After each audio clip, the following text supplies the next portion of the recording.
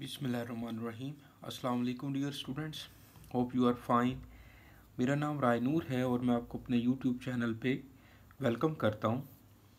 आज के लेक्चर में हम चैप्टर 15 एक्सरसाइज 15.2 है B com part one, paper BMS business mathematics and statistics, Punjab university Lahore.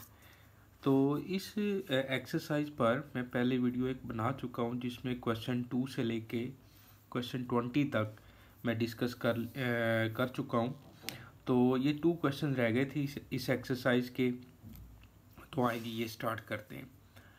Question number twenty one है इसकी स्टेटमेंट है an object falling freely from a height travel six metres in the first second sixteen metres in the second second and 26 meters in the third second.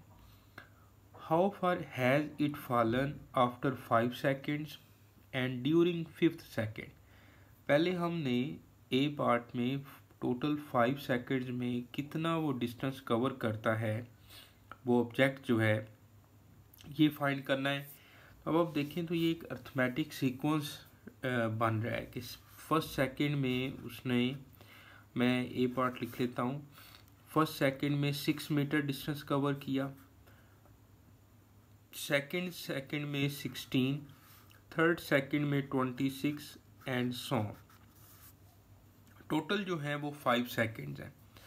अब इसमें आप देखें तो difference भी same आ रहा है। सिक्सटीन माइनस सिक्स करें ten, twenty six minus sixteen करें टेन आ रहा है। तो ये एक अर्थमेटिक सीक्वेंस बन रही है। तो यहाँ पर लिखते हैं A one is equal to six और common difference is sixteen minus six किया तो टेन आ गया। और यहाँ पर आफ्टर फाइव सेकेंड्स की बात कर रहे हैं तो एन की वैल्यू कितनी है? फाइव तो उस मिशन का फार्मूला लगाने सम ऑफ़ अर्थमेटिक सीरीज़ का तो ये फार्मूला हमें पता है कि S N is equal to N by two two A one plus N minus one into D तो एन की जगह पे फाइव लिख लें।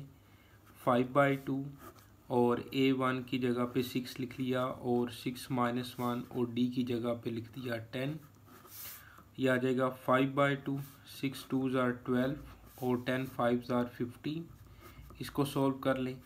Five by two fifty plus twelve किया तो sixty two two thirty one are thirty one को five से मल्टीप्लाई करें। Five one are five five three are fifteen तो टोटल जो है फाइव सेकेंड्स में वो जो डिस्टेंस कवर करेगा ऑब्जेक्ट वो है, यहाँ पर एक गलती हो रही है कि ए वन तो हमारे पास सिक्स है, लेकिन एन की जगह पे यहाँ पे फाइव पुट करना था। एन की जगह पे फाइव पुट किया टेन फोर ज़ार फोर्टी और ये आना था five by two multiply by fifty two और two two one two two are four और टू सिक्स आर ट्वेल्व तो ट्वेंटी सिक्स को फाइव से जब मल्टीप्लाई करेंगे तो वन थर्टी मीटर आए यानी कि फाइव सेकेंड्स में वो वन थर्टी मीटर जो है ना ऑब्जेक्ट डिस्टेंस कवर करेगा। अब बी पार्ट में उसने पूछा है कि ड्यूरिंग फिफ्थ सेकंड कितना डिस्टेंस कवर करेगा? ड्यूरिंग फिफ्थ सेकंड तो यहाँ पे हम लिखते हैं ड्यूरिंग फिफ्थ सेकेंड ठीक है जी? यानी कि ए वन तो हमारे पास सिक्स ही है कॉमन डिफरेंस जो है वो टेन है।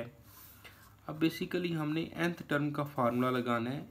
अर्थमेटिक सीक्वेंस की एंथ टर्म का फार्मूला तो A one plus N minus one into D यहाँ पर वैल्यूज़ पुट कर दें। एन की जगह पे फाइव लिखा, वो गलती नहीं करनी हमने।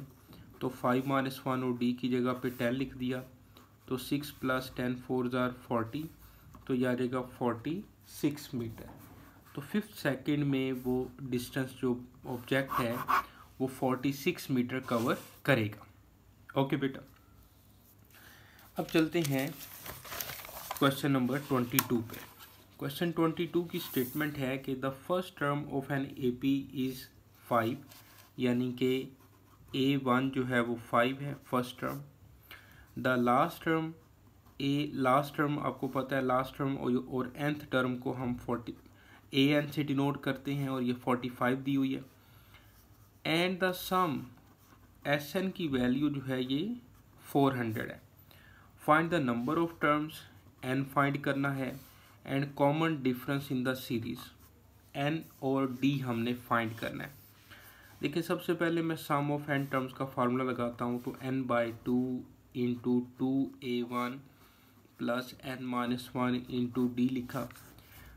अब इसमें देखें तो हमारे पास फ़र्स्ट टर्म है और लास्ट टर्म है, ए एन या तो इस तरह से कर लें कि हम ए एन और ए वन, उसमें एन और डी दोनों मिसिंग है। तो अब इसको हम थोड़ा चेंज कर लेते हैं।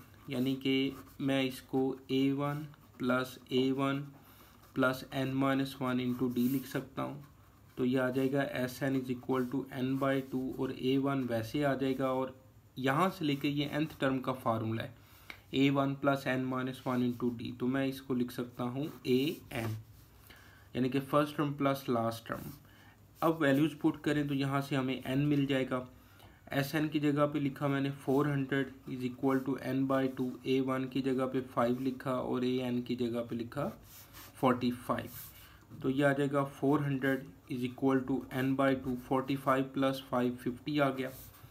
तो फोर हंड्रेड, ये कटिंग करें twenty five twenty five n तो n is equal to four hundred divide by twenty five किया तो कितना बनेगा ये? ट्वेंटी फाइव फोर ज़ार हंड्रेड होता है तो ए ट्वेल्व और सिक्सटीन।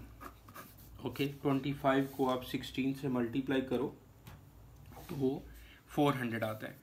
तो इस तरह से हमें ये नंबर ऑफ़ जो टर्म्स हैं नंबर ऑफ़ टर्म्स वो बेटा मिल गई n is equal to sixteen अब हमने कॉमन डिफरेंस फाइंड करना है तो कॉमन डिफरेंस के लिए हम ए एन वाला फार्मूला लगा लेते हैं, यानी कि एंथ टर्म वाला। तो यहाँ पे लिखते हैं a n is equal to a one plus n minus one into d और यहाँ पर ए एन की वैल्यू कितनी थी? ए एन की वैल्यू दी हुई है फोर्टी फाइव फ़र्स्ट टर्म की वैल्यू कितनी है? फाइव एन अभी हमने फाइंड किया है सिक्सटीन और minus one into d okay बेटा। यह आ जाएगा फोर्टी फाइव माइनस फाइव और sixteen minus one fifteen d आ जाएगा।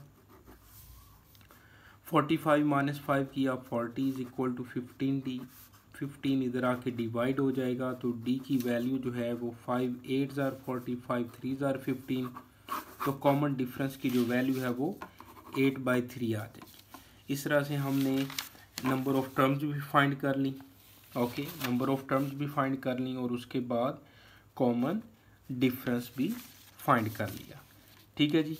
तो यहाँ तक ये दो टू क्वेश्चन कंप्लीट होते हैं, इसको पढ़िएगा कि प्रॉब्लम हो आप लाजमी पूछें तो अपना ख्याल रखें, नूरुल हक को इजाज़त दें, अल्लाह हाफिज़।